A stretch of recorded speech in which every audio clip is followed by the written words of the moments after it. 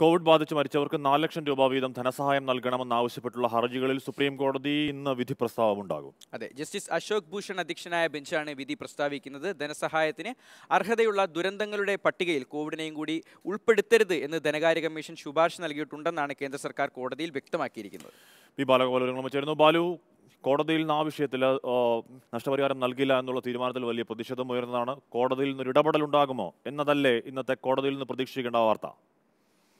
കാശ്മീർ തീർച്ചയായും അത്തരത്തിലൊരു ഇടപെടൽ കോടതിയുടെ ഭാഗത്തു നിന്ന് ഉണ്ടാകുമോ എന്നതാണ് ഏവരും ഉറ്റുനോക്കുന്നത്. രാവിലെ പത്ത് മുപ്പതിനാണ് ജസ്റ്റിസ് അശോക് ഭൂഷന്റെ അധ്യക്ഷതയിലുള്ള ബെഞ്ച് സുപ്രധാനമായി ഈ കേസിൽ വിധി പ്രസ്താവിക്കുന്നത്.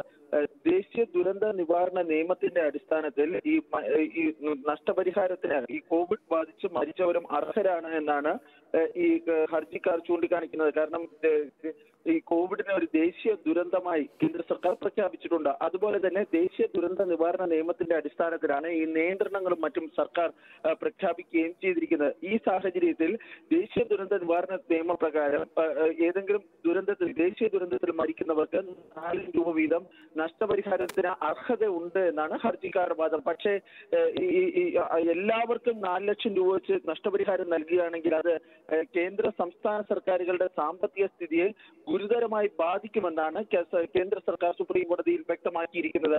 ഏതായാലും കോടതി ഇക്കാര്യത്തിൽ എന്ത് നിലപാട് സ്വീകരിക്കുമെന്നതാണ് ഏറ്റവും പ്രധാനപ്പെട്ട കാര്യം. കാരണം നഷ്ടപരിഹാരം നൽകേണ്ടതുണ്ട് എന്നത് എന്ന തരത്തിലുള്ള പരാമർശങ്ങളായിരുന്നു ഈ കേസിന്റെ വാദം കേൾക്കുമ്പോൾ ഒരു ഘട്ടത്തിൽ ജഡ്ജിമാരും മറ്റും ഉന്നയിക്കുകയും ചെയ്തിരുന്നത്. പക്ഷേ കേന്ദ്ര സർക്കാർ നൽകിയിരിക്കുന്ന അധിക സത്യവാങ്മൂലം കൂടി പരിഗണിച്ചതിന് ശേഷം കോടതി ഇന്ന് എന്ത് നിലപാട് സ്വീകരിക്കുമെന്നതാണ് ഏറ്റവും പ്രധാനപ്പെട്ട കാര്യം. രാവിലെ പത്ത് മുപ്പതിനാണ് ഈ കേസിലെ വിധി പ്രസ്താവം കോടതിയിൽ നടക്കുക.